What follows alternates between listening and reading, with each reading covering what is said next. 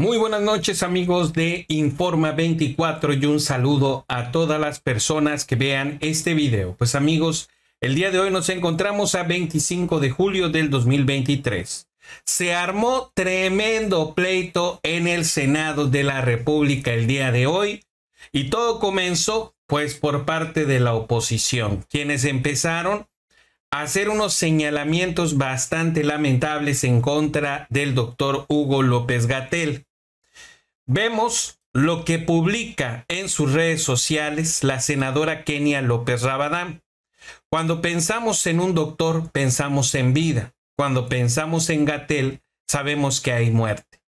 Que quede claro que por culpa de López Gatel y López Obrador, murieron un millón de mexicanos a causa del COVID. Imagínense nada más qué lamentable que utilicen este tema tan doloroso para los mexicanos para sacar raja política. Dicen que es culpa del doctor Hugo López Gatel y López Obrador. Hasta donde yo sé, pues el COVID no lo inventó ni el doctor Hugo López Gatel ni tampoco el presidente de la República. Entonces, ¿por qué culpar al gobierno actual? Además, lo vuelvo a señalar, si en realidad hubiera sido el manejo de la pandemia tan desastroso como ellos lo pintan, ¿por qué México no figura en los primeros lugares por muerte de COVID? Hay muchos otros países, hasta de primer mundo, que rebasa por mucho la tasa de mortalidad que hubo en esos países junto con el de México y lo rebasan por mucho y no queda en los primeros lugares a nivel mundial países donde supuestamente sí se actuó bien y vean nada más la tasa de letalidad que generó evidentemente esta pandemia. Bueno, pues vamos a ver qué fue lo que sucedió en el Senado de la República. Con su venia, presidente. Cuando pensamos en un doctor, pensamos en vida, pensamos en salud. Pero cuando pensamos en Gatel, sabemos que hay muerte, sabemos que hay ineficiencia, sabemos que hay una falta de conocimiento de la realidad en este país.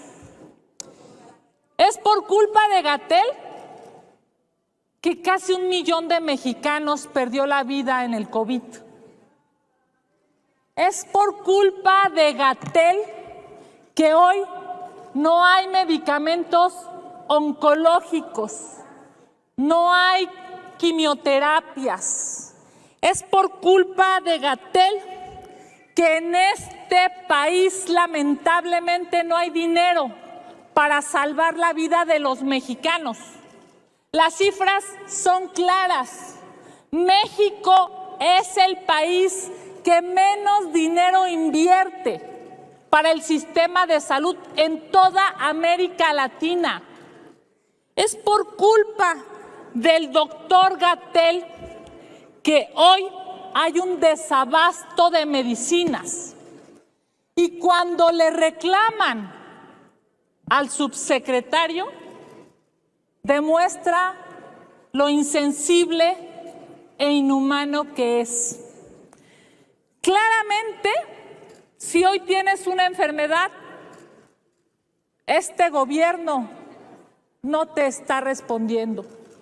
Si hoy tienes cáncer, este gobierno no te está respondiendo.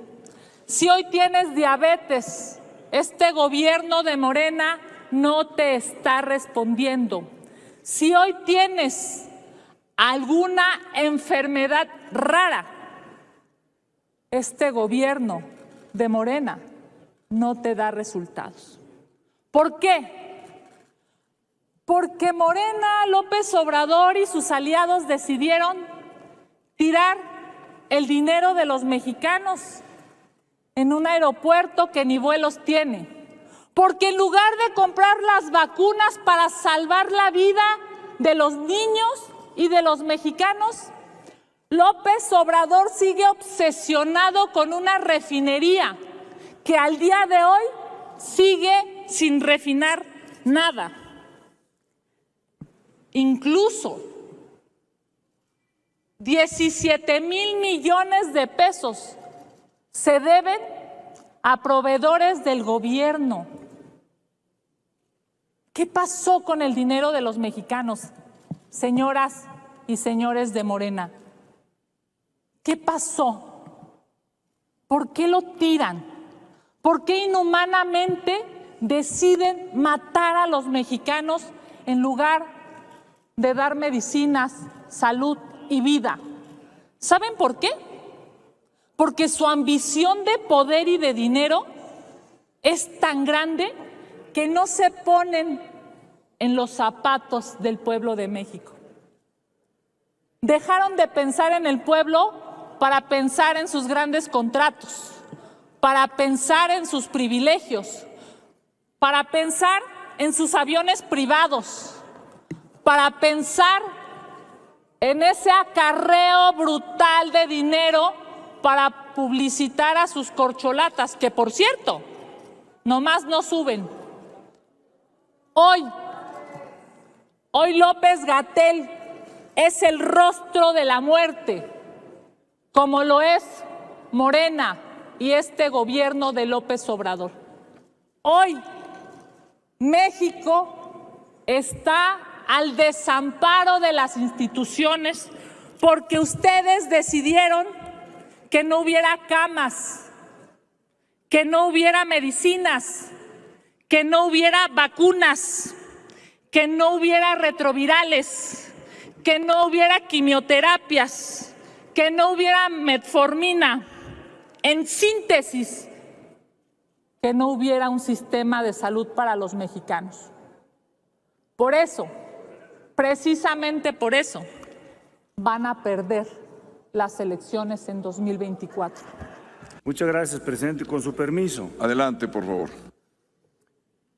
Yo venía a hablar solamente de la, del dictamen, pero no podemos quedarnos con todas las falsedades que dice la senadora Kenia.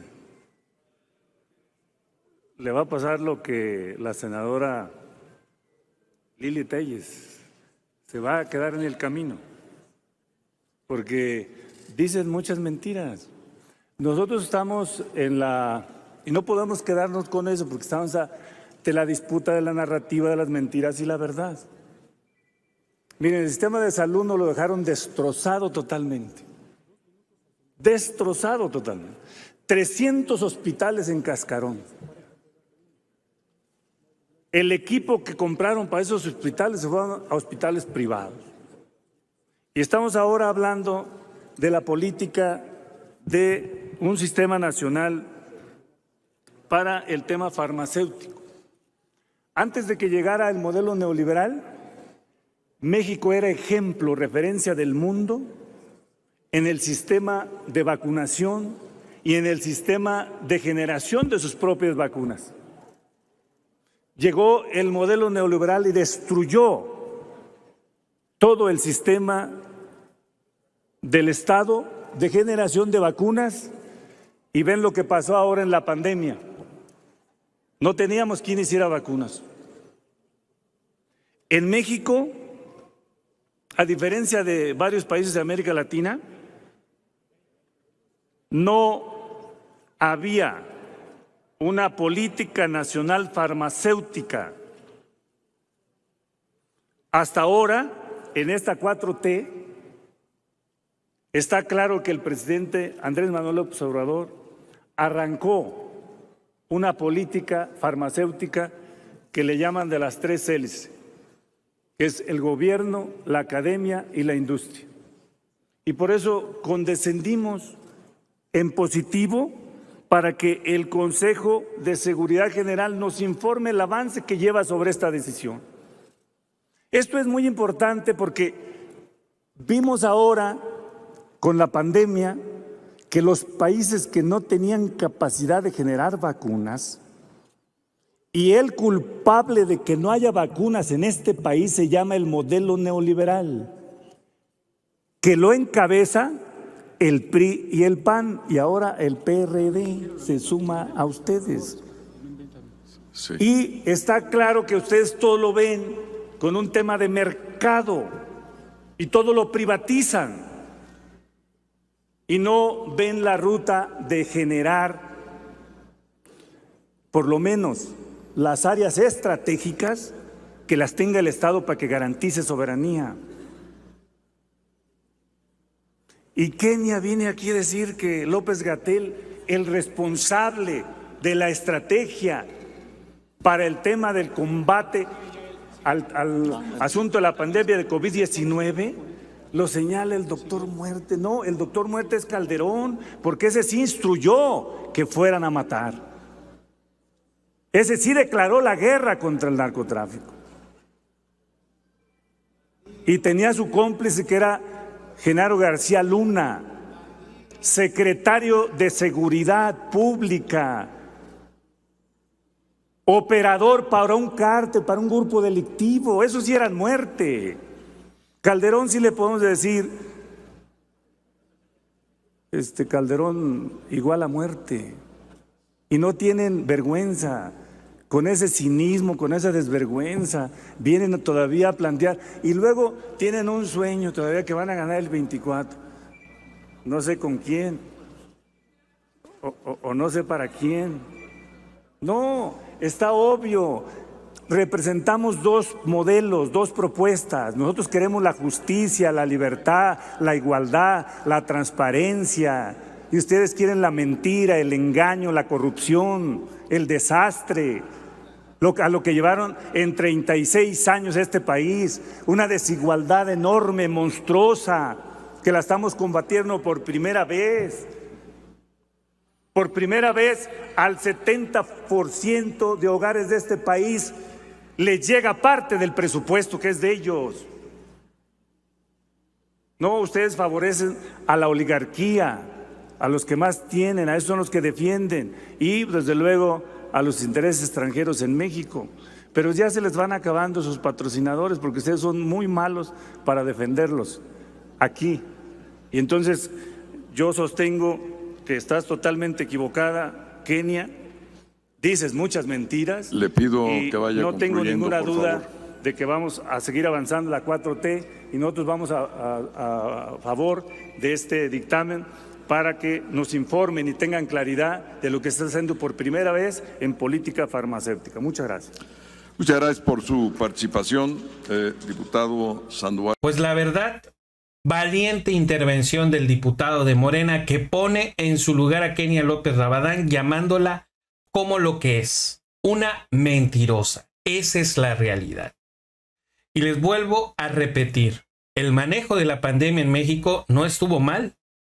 El problema, en gran parte y gran medida, es que los gobiernos anteriores no dejaron un sistema de salud lo suficientemente capaz de responder de una manera inmediata cuando surgió la pandemia a las necesidades de la población y aún así se cumplió con el objetivo.